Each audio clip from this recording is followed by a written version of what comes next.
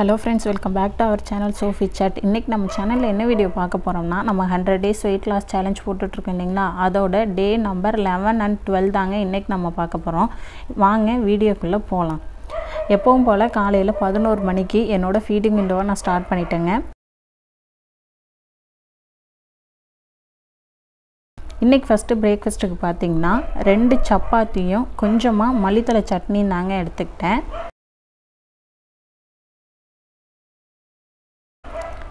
அதுக்கப்புறம் பார்த்திங்கன்னா ஒரு ரெண்டு நாற்பது போல் என்னோடய லஞ்சு நான் இன்றைக்கி எடுத்துக்கிறேங்க.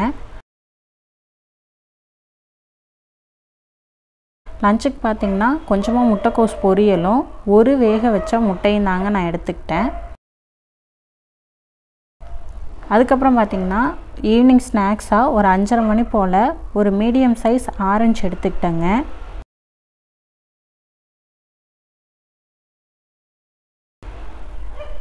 அதுக்கப்புறம் நேராக நைட்டு டின்னருக்கு தாங்க டின்னர் வந்து நான் ஏழு மணிக்குள்ளே சாப்பிட்டுக்கிட்டேங்க. இன்றைக்கி டின்னருக்கு பார்த்தீங்கன்னா வெங்காயம் போட்டு ஒரு கோதுமை தோசையும் அது கூட கொஞ்சமாக தேங்காய் சட்னி எடுத்துக்கிட்டேங்க. இந்த தேங்காய் சட்னி சா தாளிக்காமல் தாங்க எடுத்திருக்கேன். அதுக்கப்புறம் இது அடுத்த நாள் காலையில் அதாவது டுவெல்த்து டே காலையில் பதினோரு மணிக்கு எப்பவும் போல் என்னோடய ஃபீடிங் விண்டோவை நான் ஸ்டார்ட் பண்ணிட்டேங்க. இன்றைக்கி காலையில் பிரேக்ஃபாஸ்ட்டுக்கு பார்த்தீங்கன்னா கொஞ்சமாக வெள்ளை சுண்டலும் அது கூட ஒரு ஆரஞ்சு பழமும் தாங்க இன்றைக்கி நான் எடுத்துக்கிட்டேன். அதுக்கப்புறம் ஒரு ரெண்டு நாற்பத்தஞ்சு போல் மதியம் லஞ்ச் எடுத்துக்கிட்டேங்க.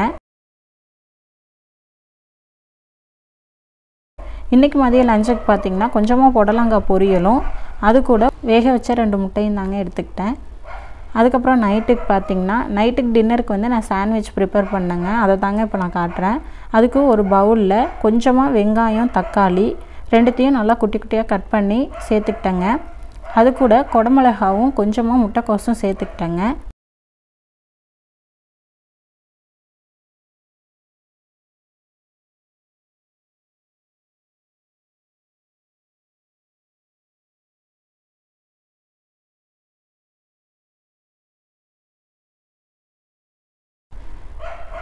அதுக்கப்புறம் பார்த்திங்கன்னா ஒரு ரெண்டு ஸ்பூன் போல் மயோனைஸ் நான் அதுக்குள்ளே ஆட் பண்ணிக்கிட்டேங்க.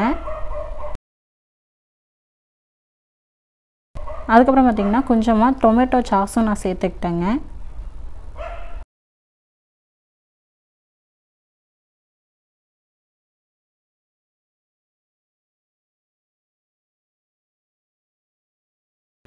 அப்புறம் தேவையான அளவுக்கு சீஸ் சேர்த்துக்கிட்டேங்க. உங்களுக்கு எந்த அளவுக்கு சீஸ் தேவையோ அந்த அளவுக்கு சேர்த்துக்கங்க. இதில் நிறையா கூட நம்ம சீஸ் தே சேர்த்துக்கலாம் ஒன்றும் தப்பில்லை.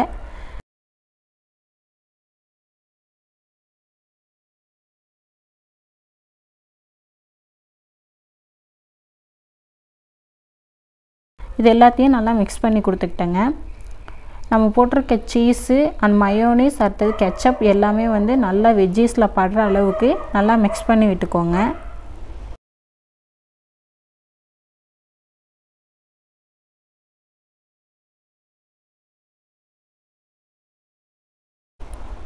மிக்ஸ் பண்ணி விட்டுட்டு அடுத்தது ப்ரெட் எடுத்துக்கிட்டேங்க. இன்றைக்கி வந்து பார்த்திங்கன்னா நான் வீட் ப்ரெட்டில் தாங்க சாண்ட்விச் செய்கிறேன் ப்ரெட் எடுத்துட்டேன். அதில் வந்து நம்ம ரெடி பண்ணி வச்சுருக்க ஸ்டஃபிங்ஸ்லாம் சேர்த்துக்கலாம். உங்களுக்கு இந்த வெஜ்ஜஸ் மட்டும் வேணாம். இன்னும் எக்ஸ்ட்ரா வெஜ்ஜஸ் வேணுனாலும் நீங்கள் சேர்த்துக்கலாங்க.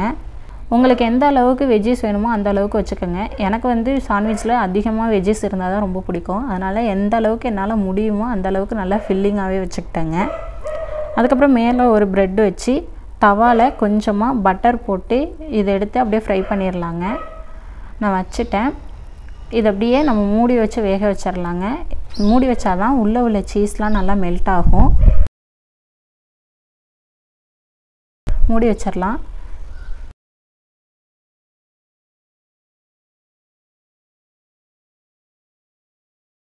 அதுக்கப்புறம் பாருங்கள் ஒரு சைடு நல்லா வெந்துருச்சு. நான் திருப்பி போட்டுக்கிறேன்.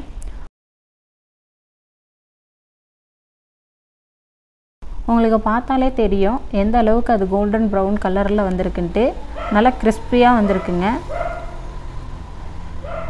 அவ்வளோதான் ஃப்ரெண்ட்ஸ் இதை எடுத்து அப்படியே என் பிளேட்டில் வச்சு நான் கொஞ்சமாக டொமேட்டோ கெச்சப் வச்சு நான் சாப்பிட்டுக்கிட்டேன் ஃப்ரெண்ட்ஸ் இதுதான் ஃப்ரெண்ட்ஸ் என்னோடய நைட் டின்னர் அவ்வளோதான் ஃப்ரெண்ட்ஸ் இதோட இந்த வீடியோவை நான் முடிச்சுக்கிறேன். இந்த வீடியோ உங்களுக்கு பிடிச்சிருக்குன்னு நம்புகிறேன் பிடிச்சிருந்தா ஒரு லைக் பண்ணிடுங்க நாளைக்கு நான் என்ன மாதிரியான ஃபுட்டெல்லாம் எடுத்துக்கிறேன்னு நாளைய வீடியோவில் பார்க்கலாம்.